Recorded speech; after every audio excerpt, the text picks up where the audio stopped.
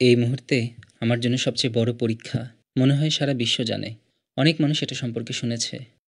আমার ছেলে এবং আমার ভাইয়ের মৃত্যু।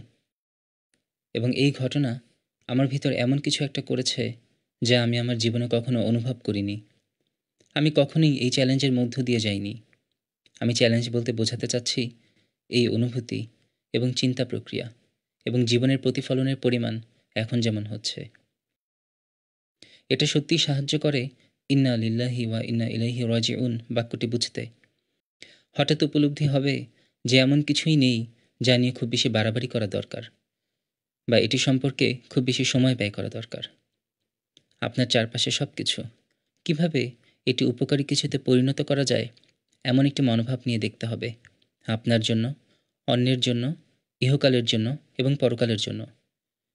এবং এরপরে টাকা পয়সা খুব বেশি গুরুত্বপূর্ণ মনে হয় না। আমার ভাই আমার ভাই ছিল। এই প্রথম আব্বা হামজা, আমি তাদের সম্পর্কে কথা বলছি। তার নিজের ব্যবসা দ্রুত উন্নতি করছিল এবং আমার মনে হয়েছিল সে কয়েক বছরের মধ্যে কোটিপতি হবে। শুধুমাত্র তার চরিত্রের কারণে সে এত সফল হয়েছিল। মানুষ তাকে ভালোবাসত। সে অত্যন্ত সৎ ব্যক্তি ছিল।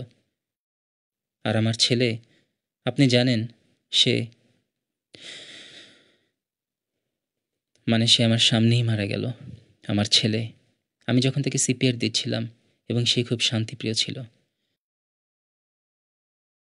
আমি আল্লাহ সুবাহতালার শুক্রিয়া করছি। এই ধন্যবাদ শব্দটি এখন আরও অর্থবহ।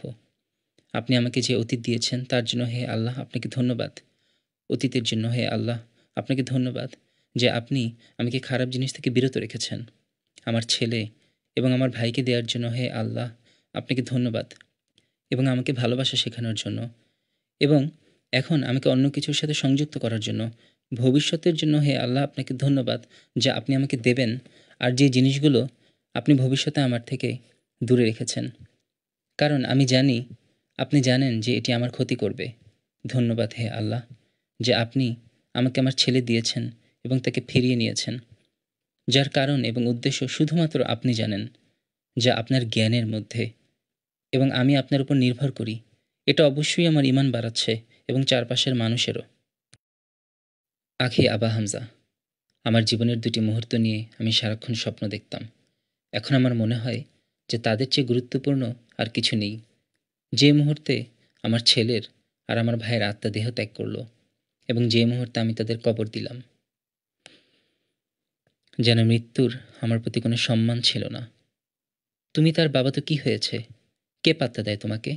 তুমি কে? এখানে তোমার কোনো দাম নেই। এখানে তোমার কোনো দাম নেই। আমি ঠিক এটাই অনুভব করেছি। আমার বলতে ইচ্ছে করছিল, তুমি কি দেখতে পাচ্ছ না? আমি এখানে আছি। আমি তার বাবা? মৃত্যু বলছিল, সে তোমার নয়, বিলাল। সে আল্লাহর। আর যদি তুমি আল্লাহর উপর ভরসা করো, তাহলে এখন সময় এসেছে তোমার নিজের কাছে এটি প্রমাণ করার। তুমি এখন আল্লাহ সম্পর্কে কি ভাবছ? আল্লাহ হলেন আরহামাল রহিমিন হয়তো হয়তো এটাই ছিল তাদের চলে যাওয়ার সেরা সময়। হয়তো কোনো কারণে আমি থেকে গিয়েছি। আল্লাহ আলাম, আল্লাহ জানেন। এবং যে মুহূর্তে তাদের সমাহিত করা হয়, আমি কবরে ছিলাম। এবং আমার মনে হচ্ছিল যেন কবরের দেয়ালে মাথা ঠুকতে থাকি। আমি এভাবেই মরতে চেয়েছিলাম। আমি আমার ছেলের দিকে তাকিয়ে বললাম, হে আমার হাত, তুমি তোমার নিজের ছেলেকে মাটিতে কীভাবে রাখবে? কত দুঃসাহস তোমার। তুমিই বাবা। তোমার কথা ছিল তাকে রক্ষা করার। তোমার কথা ছিল। তুমি জানো, তুমি তাকে প্রতিশ্রুতি দিয়েছিলে। আমি আমার ছেলেকে কথা দিয়েছিলাম যে আমি সবসময় তোমার সাহায্যের জন্য থাকব না। আমি তোমাকে তোমার নিজের দুই পায়ে দাঁড়াতে শেখাবো। কিন্তু তখন আমার রাসুল্লাহ সাল্লাহ সাল্লামের কথা মনে পড়ল।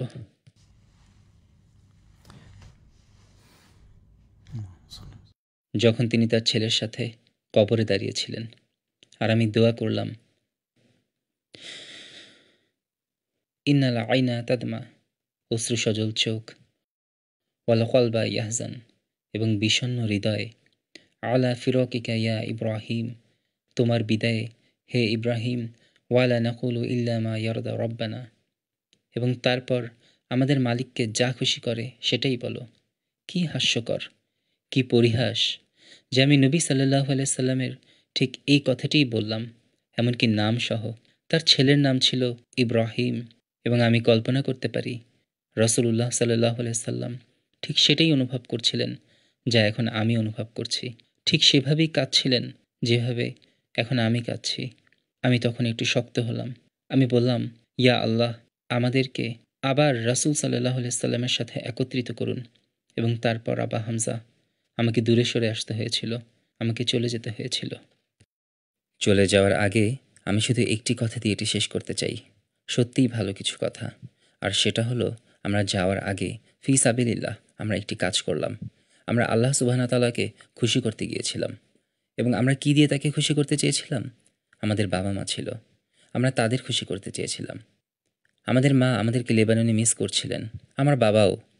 এবং আমার ভাই আর আমি, আমরা যাওয়ার আগে শেষবারের মতো তাদের সাথে কথা বলেছিলাম। এবং তার চোখ ছলছল করছিল। আমার ভাই ছিল খুব নরম মনের। তার হৃদয়ে কোমলতা ছিল। আমি আমার ভাই ও ছেলের দিকে তাকিয়ে বললাম, তোমরা নিশ্চিত যে এই অসময়ে যেতে চাও? কারণ এটা গৃহযুদ্ধ আর অস্থিরতার সময়। আমার ছেলের মুখে বড় করে হাসি ছিল। সে বলেছিল, আমি যে কোনো কিছু করতে পারি, বাবা। আমি তাদের দেখতে এবং তাদের খুশি করার জন্য অপেক্ষা করতে পারছি না। এবং আমরা হাত নেড়ে বললাম, ঠিক আছে, আমরা তাহলে এখনই নিয়ত করি। আমরা আল্লাহ সুবাহনা তালাকে খুশি করতে যাচ্ছি। কারণ আমরা যদি সেখানে মারা যাই, আমরা যেন সুহাদা হিসেবে মৃত্যুবরণ করি ইনশা আল্লাহ ইয়া রব, আমরা যেন আল্লাহর পথে মৃত্যুবরণ করি ইনশা আল্লাহ আর যদি আমরা ফিরে আসি, তাহলে আমরা যেন ফিরে আসি, ইয়া রব, একটি পাহাড় পরিমাণ বিশাল পুরস্কারের সঙ্গে ইনশা আল্লাহ আমি ভেবেছিলাম আমরা গৃহযুদ্ধে মারা যাব। এই নাগরিক অস্থিরতার সময়। সুবহান আল্লাহ আমার ছেলে এবং আমি যুক্তরাজ্যে গিয়েছিলাম। এটাই ছিল আমার ছেলের সাথে বিদেশে আমার শেষ লেকচার ট্যুর এবং যুক্তরাজ্যের লোকেরা আমার ছেলে এবং আমার ভাই দুজনকেই চিনত। তারা আমার পরিবারের অন্য কাউকে চিনত না। কেন? কারণ এর এক বছর আগে তারা আমার ভাইকে আমার সাথে যাওয়ার জন্য অর্থ প্রদান করেছিল। মুহাম্মদ, সে সফরে আমার সাথে গিয়েছিল। সেই সময় মুফতি মেনক আমাকে ফোন করেছিলেন। আর আমি তাকে বললাম, আমি আমার ভাইকে সাথে নিয়ে যেতে চাই। তারা বলল, ঠিক আছে। এবং তারপর আমার ছেলে, তারা তাকে চিনত। যখন সে শিশু ছিল, তখন, এবং যখন সে বড় হয়, তখনও, এবং তাদের প্রতি সবার ভালোবাসা ছিল। এ সব কিছুই আল্লাহ তালা ব্যবস্থা করছেন। এবং যখন আমরা সেখানে পৌঁছলাম সুহান আল্লাহ তারা এমন জায়গায় মারা গিয়েছিল যা আমি কখনো ভাবিনি। আমরা কিছু স্নো মোবাইলে চড়ার জন্য সেখানে গিয়েছিলাম। আমরা শুধু মজা করতে চাই। আমি বললাম, আমার ছেলে লেবানন দেখতে চায়, সে তুষার দেখতে চায়, সে এর উপর উঠে যায়। এটা নিরাপদ হওয়ার কথা, কিন্তু আমি জানি না সে একবার ঘুরে আসে এবং সবই ঠিক ছিল। আমি অন্য কোথাও থেকে তাদের দিকে আসি এবং আমাদের চাচাতো ভাই তাকে বললেন, না। তিনি বললেন, তুমি আবার একা যেতে পারবে না। তোমার বাবা বা চাচাকে নিয়ে যাও। আমার ভাই, কারণ তার এটা নিয়ে অভিজ্ঞতা ছিল। আমার ভাই মোহাম্মদ সুবাহান আল্লাহ তিনি মানুষের জন্য কিছু করতে ঝাঁপিয়ে পড়তেন। তারপর আমি বললাম, হয় তোমার চাচা, না হয় তোমার বাবা। সে কাকে বেছে নিল? সে তার চাচাকে বেছে নিল। যদি সে আমাকে বলতো তার সাথে যেতে, আমি তার সাথে যেতাম, তাকে নিরাপদ রাখতে। এবং আমার ভাই, তিনি বললেন, আমি তার সাথে যাব। আপনার ছেলে তার চাচাকে বেছে নেওয়ার আগে আল্লাহ তাকে বেছে নিয়েছেন।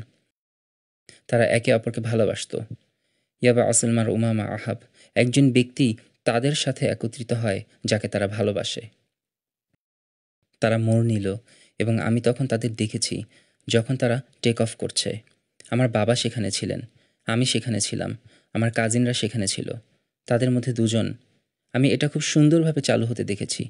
তবে আমার একটা অনুভূতি ছিল, ওয়াল্লাহি, আমার মাথায় একটা কণ্ঠ আমাকে বলল, তারা দেয়ালে ধাক্কা খেয়ে মারা যাবে। আর সেই কণ্ঠ বলে গেল, আমি যেন এটা দেখতে পাচ্ছিলাম, বাঁচাও। এবং তারপর এটা চলে গিয়েছিল, এবং আমি এটা সম্পর্কে ভুলে গেলাম। আমি খুশি এবং আমার ছেলে মজা করছে। ঠিক আছে ইয়াল্লা খালাস। কিন্তু আমি চাই সে নেমে যাক। আমি এতে খুশি নই। আমার হৃদয় শুধু অস্বস্তিকর ছিল না, বরং খুব অস্বস্তিকর, খুব বেশি অস্বস্তিকর ছিল। সেই কণ্ঠস্বরের মতো এলো, তারপর চলে গেল। এবং আমি তখন দেখতে পেলাম, মনে হলো মৃত্যুর ফেরেস্তা সেখানে অপেক্ষা করছিল। যেন তার একটা দড়ি ছিল এবং সেটা টেনে নিয়ে গেল। এটা স্নো মোবাইল আর থামবে না। পেট্রোল ছোটল আটকে গেল। সব মানুষের মধ্যে তারা তীব্র গতিতে একটি প্রাচীরে ধাক্কা খেল। তারা নামতে পারেনি। আমি তাদের নামার চেষ্টা করতে দেখেছি, কিন্তু তারা নামতে পারেনি। এটি সম্পর্কে কথা বলা আমার পক্ষে খুব কঠিন, কিন্তু আমার ছেলে ঘটনাস্থলেই মারা যায়। আর আমি তার কাছে ছুটে গিয়ে চেষ্টা করলাম। হয়তো চার মিনিটের মধ্যেই মারা গিয়েছিল। আর আমার ভাই, সে আর একটু কিছুক্ষণ বেঁচে ছিল। প্রায় এক ঘণ্টা। তাকেও আমার ছেলের সাথে অ্যাম্বুলেন্সে নেওয়া হলো। আর আমার ভাই তাকে বলছে, আমি আসছি তোমাকে অনুসরণ করে। আমি আসছি তোমাকে অনুসরণ করে। পাঁচ মিনিট। পরে হাসপাতালে তার মৃত্যু হয়। তারা দুজনেই দাফন হয়ে গেল। আমি, আমার ভাই ও ছেলেকে জড়িয়ে ধরলাম। আমি বললাম, চিন্তা করবে না। এটা শুধু সাময়িক। আর যদি ফেরেশতারা তোমার কাছে আসে, তাহলে এটা বলো। আমি জানি না কেন আমি সেটা বলছিলাম। আব্বা হামজা, আমি অনেক কিছু বলছিলাম। প্রথমেই বলেছিলাম, ইন্না আলিল্লাহি ওয়া ইন্না ইলাহি রাজিউন। তাড়াতাড়ি বললাম, কারণ আমি জানতাম আমি নিজেকে ধরে রাখতে পারব না। আমি বলেছিলাম, ইন্না লিল্লাহি ওয়া ইন্না ইলাইহি রাজিউন। আমি আকাশের দিকে তাকিয়ে বললাম, তুমি কোথায় মৃত্যুর ফেরেস্তা শুধু আমাকে একটু সময় দাও। আমাকে এক মিনিট দাও। আমি শুধু আমার ছেলেকে বিদায় জানাতে চাই। ফাইজা জা আজালাহুম লা ইয়াস্তাখিরনা সাআতা ওয়ালা ইয়াস্তাকদিমুন। খালাস আল্লাহ। এবং আমি তার সম্পর্কে ভালো মনে করি। সুবহান আল্লাহ ইনশাআল্লাহ এটাই শেষবার নয়।